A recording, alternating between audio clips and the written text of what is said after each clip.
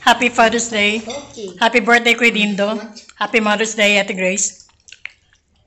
Dito kami, nauna na kami kumain sa may-ari ng bahay. Wala, after a month, nagpunta pa sila sa mall. Yan. So, hindi na namin natanggal yung kahon sa sobrang gutom.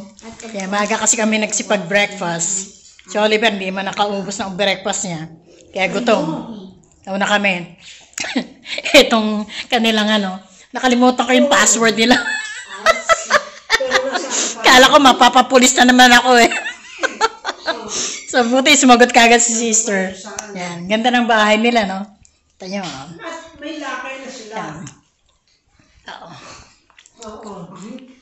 Yan, kita nyo. Wala yung mga kanyang mga panganay. Ang bunso lang ang kasama niya dito. Yan, ganda ng bahay, oh. No? Punta daw sila ng Holy Land. Kailan kaya yun? Ano? Makain na yung ano. Dito tayo sa ano. Sa... Tayo sa kusina. Oh, ang ganda oh. May calendar na pasadya si Elise. Yan. Oh, dami nilang picture. Oh. Kita mo. Dami na nilang napuntang destinasyon. Sa sari-sari. Dalawang apo nila kay Elise, dala, isa kay Giselle. So, dalawa na lang yung dalaga nila. Si Muriel at saka si Shanley. Yan. Oo, meron pala siya dalawang ano, orchids dito. Okay. Bibila ko sana siya ng orchids. Eh, pinitas ko na lang. Ito marami siyang mga picture dito.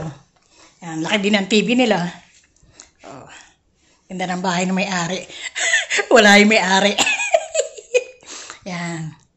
Ah, picture nila. Eto, ang ganda eh. Oh. Kita mo. Naano pa niya yung mga suot ng bata ng maliit. Mga gamit ng mga anak niya.